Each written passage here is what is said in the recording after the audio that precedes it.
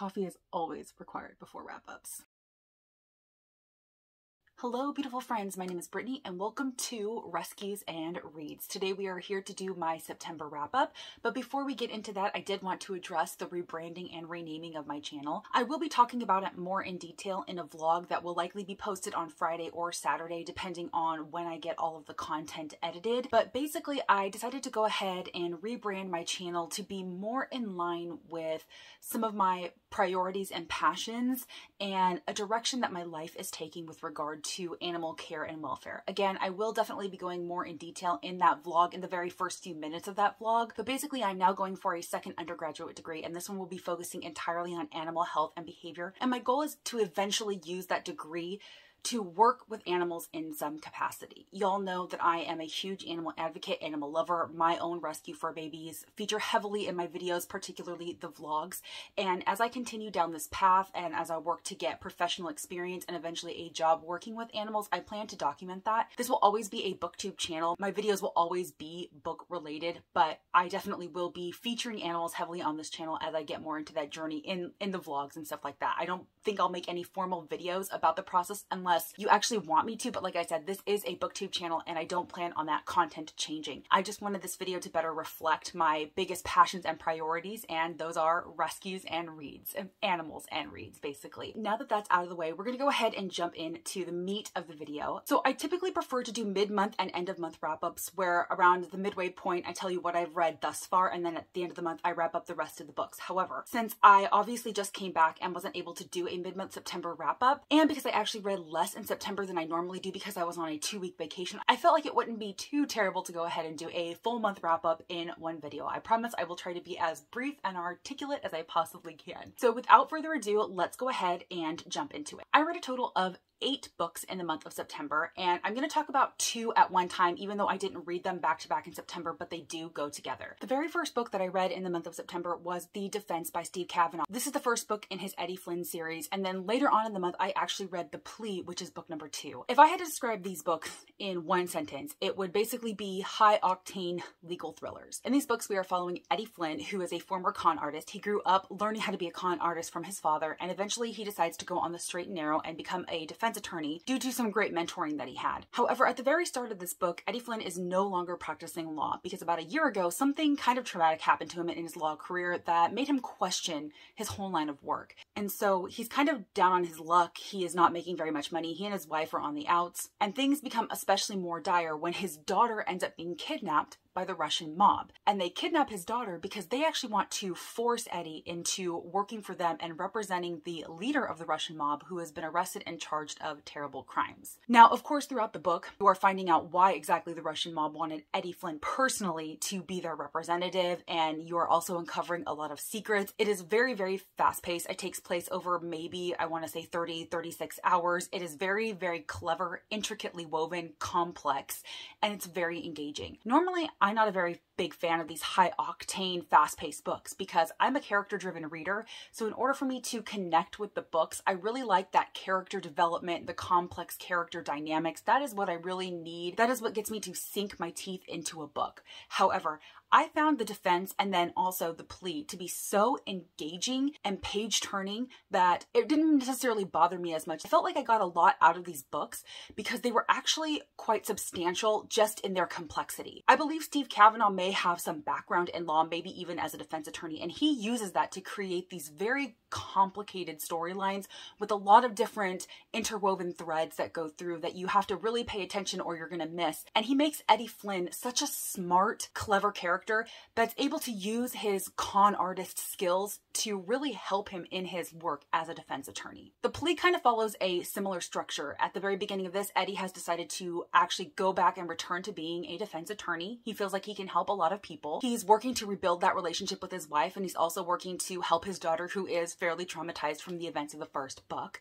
But in the second book now, he is actually almost blackmailed into helping the CIA with the situation that they are currently in. So at the start of this book, a wealthy young man, kind of a Mark Zuckerberg-esque type of character, has been arrested for killing his girlfriend. And what the CIA wants to do is they want to get in there and represent this client so that they can force him to take a plea and then hopefully by helping him, they will get him to turn on his law firm, who the CIA believes is very, very corrupt and is laundering huge amounts of money. And they want Eddie Flynn's help to do this. Now, a catch here is that Eddie Flynn's wife actually works for this law firm and so, in order to encourage Eddie to help, they basically say that they have something on his wife, and if he doesn't help, she's going to go to prison for a very, very long time. And then it goes from there. Again, this is another complex, very fast paced, intricately woven story but it's just so page turning and engaging, and you want to keep going and you want to know what happens, and you want to see how Eddie is going to get out of this because that really is the fun. It's really seeing the legal maneuvering that's going on in these books. Really, what I love to see in like courtroom dramas is just the back and forth between the prosecution and the defense defense.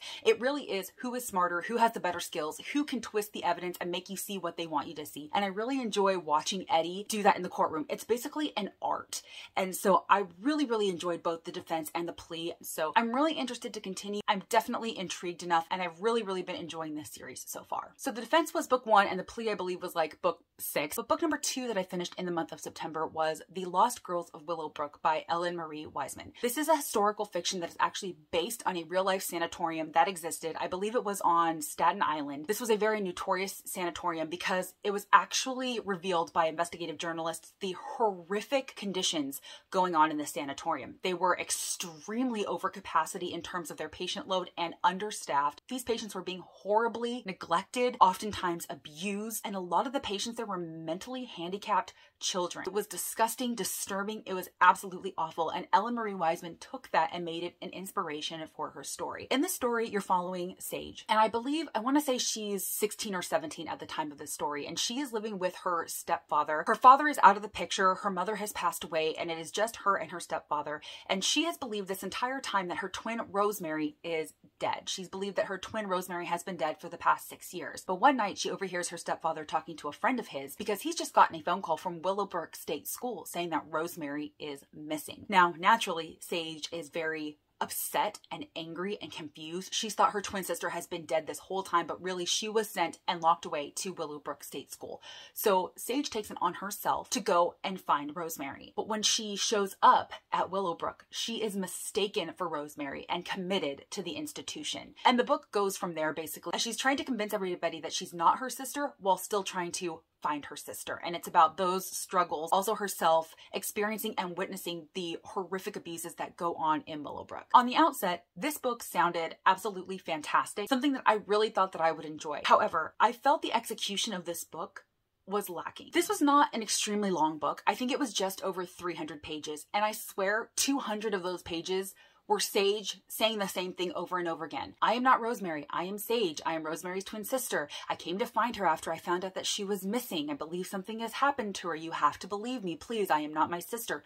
Over and over and over and over and over and over and over and over and over. Like constantly, this is what the book was. Her basically trying to convince people who were willfully not listening to her that she was not her sister. And I get that. Of course, if you're wrongfully imprisoned in this horrific sanatorium, you want to get out of this sanatorium. But obviously, this wasn't getting her anywhere because they think that she's crazy. And I guess Rosemary, while she was in the sanatorium, was telling everybody that she was Sage. Nobody was listening to her. And in fact, the level to which they weren't listening to her was almost comical, almost worthy of disbelief, because Sage actually presents as a very capable, rational, competent, sane individual, but nobody was paying attention to her. Nobody was listening. I just found myself frustrated because I would like to have seen Sage take more action to find her sister than to spend so much of her energy repeating the same thing over and over to people who obviously weren't going to listen to her. But if she just found her sister, problem would be solved and that they would have to believe her. So overall, I really enjoyed the premise of the story. I liked the direction that it took even though it was fairly predictable, but I found it very redundant. I found it very repetitive. And in the end, I just felt like more could have been done with the story. So I believe I gave this like a 3.5 stars. I didn't hate it. I would definitely be willing to read more from Ellen Marie Wiseman in the future. I think this was probably like a me thing, not a her thing. This one just wasn't quite what I was hoping it would be. The next book that I read was Big Lies in a Small Town by Diane Chamberlain. I had read one book by Diane Chamberlain before. It was called Necessary Lies, and I really enjoyed that, and I knew that I wanted to pick up another book by her. This actually satisfied a prompt for the Buzzword Readathon, and so I jumped on the chance to read another Diane Chamberlain, and I really, really enjoyed this. So this is a historical fiction that is set in two timelines. In the present day timeline, you're following Morgan Christopher, and she's in prison at the start of this story. She's in prison over a drunk driving incident that she wasn't technically responsible for, but she took the blame anyway because she didn't want to get the person who was driving in trouble. And so she's sitting in prison, been there for a year. She thinks that she has two more years on her sentence, but one day, two women come and help her get out of prison. One of the women is a lawyer, and the other woman is the daughter of a very well known, respected artist who Morgan actually likes. And this artist has recently passed away. And when they were going through his will, they saw that he has stipulated that he wants Morgan to be the one to restore this decades old mural that he wanted to hang in the foyer of a gallery that he planned on opening. Only Morgan could do it. And if Morgan was not able to restore the mural and get it up by the time of the gallery opening, which had a very specific opening date, there would be consequences to that. So Morgan is very, very confused. She knows of this artist. She's a fan of this artist, but she has no idea how this artist knew of her, why this artist wanted her to be the one to restore the mural, because before she was in prison, she was an art student, but she still knew nothing of restoration. She knows nothing of how to restore this mural, and so she's completely baffled by this whole situation. But she is released from prison. She is put on parole. She goes to live with the daughter of the artist. I believe her name was Lisa, if I'm remembering correctly. And she gets to work. And as she starts to restore the mural, she starts to notice some funky things included in the mural that you wouldn't expect to see. And it causes Morgan to be very, very intrigued. It causes her to want to try to find out more about the artist who painted the mural. She starts to very deeply care for the artist and connect to the mural. And that kind of leads us to the past timeline, which takes place in 1939 and 1940. And you're following Anna Dale. She's an artist from New Jersey who won a national contest to paint a mural for a post office in rural Edenton, North Carolina. Now, Anna Dale has never been to Edenton, North Carolina. She knows nothing of this town, but she's feeling a little bit lost because her mother just passed away. And so she figures that she will go to Edenton, North Carolina for a while to get a feel for the town, start to uncover what the town is really about so that she can paint this mural. But when she gets to the town, she finds that this is a town with deeply held prejudices, secrets. They don't really want her there. They think she's an outsider that can't possibly do the job justice. And so even though she's set up and she's doing great work on the mural, she finds herself running into some challenges. And you're following her as she is painting this mural and what she is facing while doing so and what actually happened to her because the mural was never quite finished. It never got hung in the post office and Anna Dale up and disappeared. So in the present timeline, you're following Morgan Christopher as she's trying to uncover what happened to Anna Dale. Did she go crazy like everybody said? Did she just up and abandon this project or was there something more to it? I very much enjoyed this. Yes, it was a historical fiction, but there were definitely tinges of mystery going on and I was captivated by both timelines. I enjoyed watching Anna Dale's journey as she gets to this town, starts to meet the people, starts encountering these challenges while she's painting the mural and everything that goes along with that. And then you're following Morgan as she's trying to figure out the mystery for herself in the present and all of the things that she herself is trying to overcome personally. I felt that this was a very solid story. It was very charming in its own right, and I will definitely be reading more from Diane Chamberlain in the future. Next, I read Defy the Night by Brigid Kemmerer. This is the start of a new fantasy series, and I really, really enjoyed this. This book is set in a kingdom where a sickness is ravaging the land, and and the only known cure for the sickness are these moon petal flowers that are only found in two of the sectors of this kingdom. And because of that, they are highly politicized. Obviously, the leaders of these sectors know that they have some power and control because they are the only sectors that have this moon petal flower that will cure the people. And so they are trying to control the flow. Meanwhile, you have the actual king trying to do what is right by his people, trying to keep peace, trying to keep people well, and trying to prevent rebellion from happening. However, for people like Tessa Cade, that is not enough. She doesn't feel like the king is doing enough to help the people. And so she and her friend Wes are actually kind of like outlaws and they are constantly breaking into the royal sector, stealing moon petal flowers and distributing it to those who are sick and in need of it. They are definitely risking their lives every day to help their people, but of course, as you would expect, one day it catches up to them. And after a brutal act by the king's justice, Tessa has had enough, and so she decides to break into the palace to see if she can do something about it. And it kind of goes from there. This is actually told in two perspectives. You're seeing Tessa's perspective, and then you're also seeing the perspective of the king's justice, Prince Corrick, who is the brother of the king. And you're seeing his own personal struggles because as the king's justice, he's got to be this ruthless, vicious creature. He is literally the hand of justice, and he and the king are desperately trying to make examples of the people who are stealing moon petal flowers because they want everything to be fair. They want a fair amount of rations of these moon petal flowers to go out to all of the sectors. But like I said, it's not enough and rebellion is brewing. And so you're seeing Prince Corrick as he's struggling to be this person that his brother needs him to be, this horrible, terrible King's Justice whom everybody hates. But obviously there's more to Prince Corrick than just that. There is a deeper level to him that doesn't enjoy doing what he's doing, who wants to help his people more.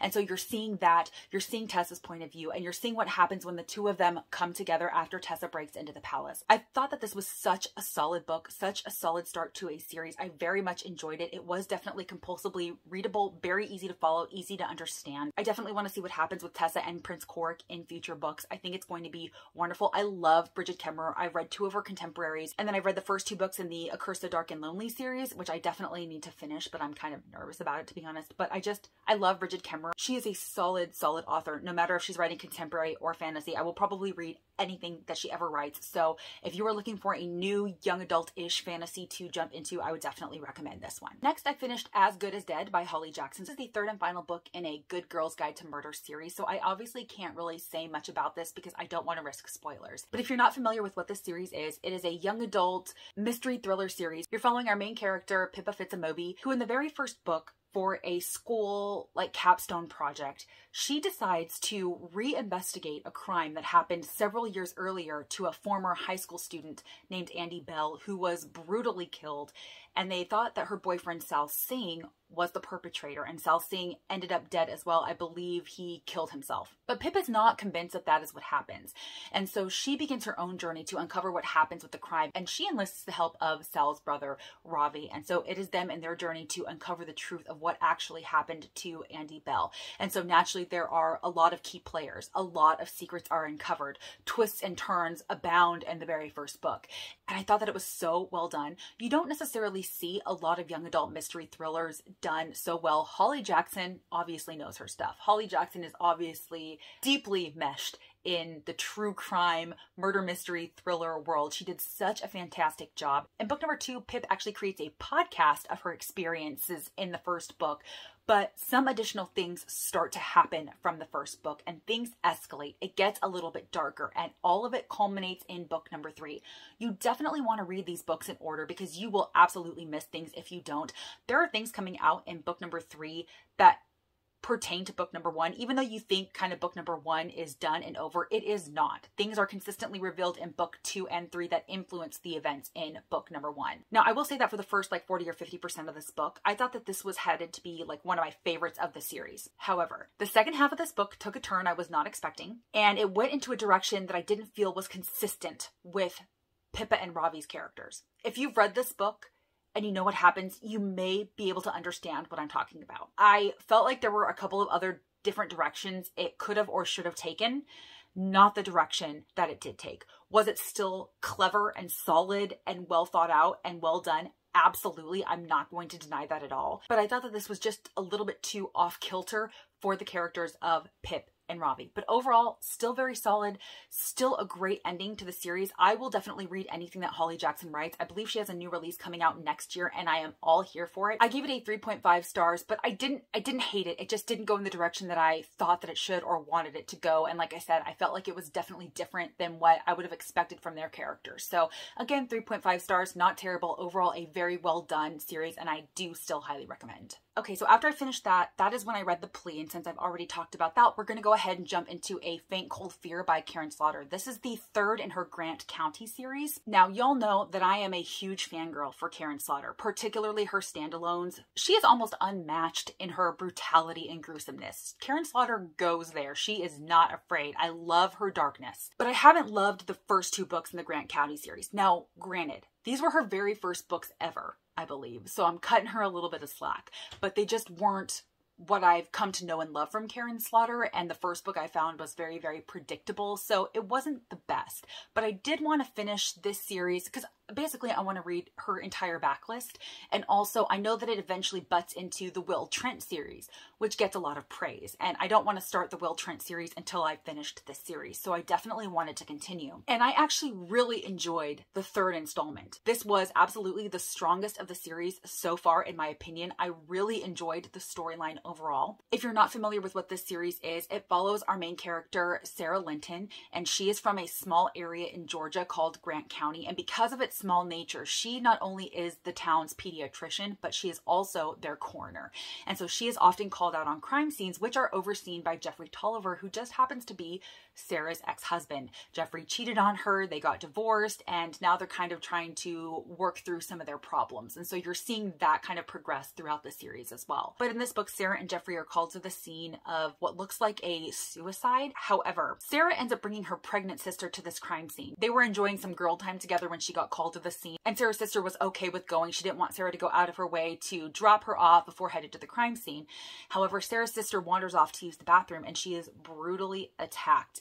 And so that actually leads Sara and Jeffrey to believe that there might be more to this kid's death than an actual suicide. And it goes from there and it follows Sara as she's trying to deal with what's happening to her sister while also still doing her job. She still has to do the autopsy on the victim to determine what happened. And then you're following Jeffrey as he's trying to uncover what happens and then more deaths start to occur, more suicides, which is very unusual for this, this small college area again, I thought this was very solid. This was definitely the best one in the series so far. I felt like it was less predictable than the first book, still somewhat predictable. Like I think you can kind of see what's coming in terms of who the perpetrator is, but not necessarily his motivations. Like I thought the way that that was revealed and the journey we take to get there was pretty well done as well. So I'm thrilled that I enjoyed this one. I did not want to go through this book thinking that they were all like two or three star reads. I gave this one solid four stars and I am happy to continue now. In fact, like I'm kind of in the mood to continue, but we've got a TBR, we've got to stick to. So overall, very, very solid. Like I said, four stars. Love Karin Slaughter. If you have not picked her up, if you like dark, disturbing, gruesome mystery thrillers, you cannot go wrong with Karin Slaughter. And then the very last book that I read for the month of September, kind of ending on a little bit of a lower note, we have the Golden Couple by Sarah Pekkanen and Greer Hendricks. I consider myself a fan of this duo. I really loved The Wife Between Us. I thought that that was so well done. I loved the plot twist that came in the middle of the book,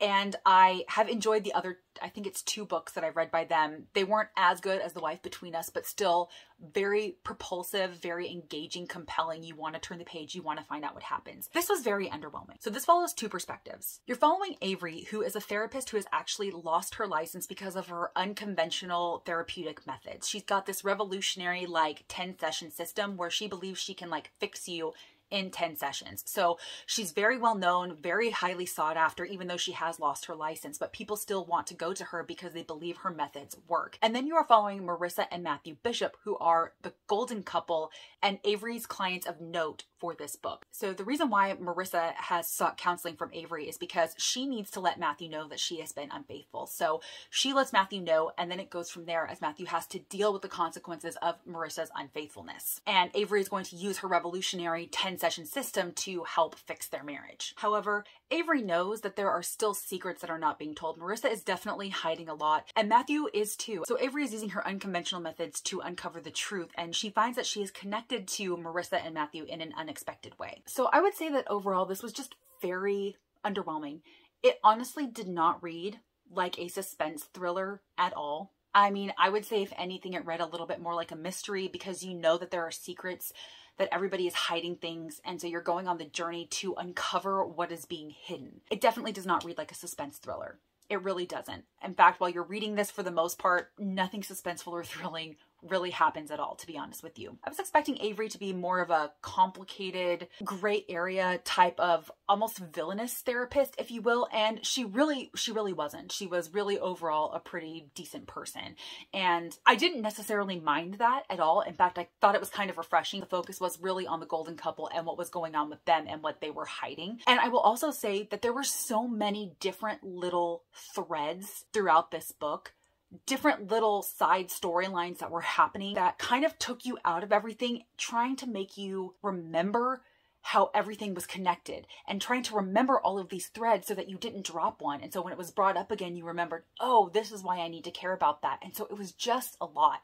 And by the time we get to the culmination, the climax of the book, if you will, I, I didn't really care. I didn't really think it was anything mind blowing or surprising. I wasn't all of that shocked by anything that happened at the end of this book, to be honest with you. I didn't love it. I gave it a three stars. It was very meh. I will probably forget everything about this book in like the next week. While I still read more from this duo when they come out? Yes, absolutely I will because I've enjoyed their past works a lot, but this was just not what I was hoping for.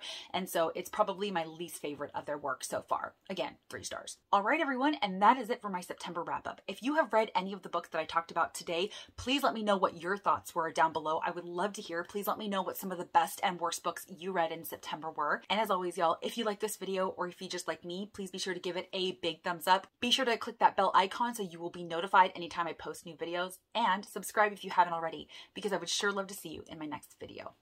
Bye guys.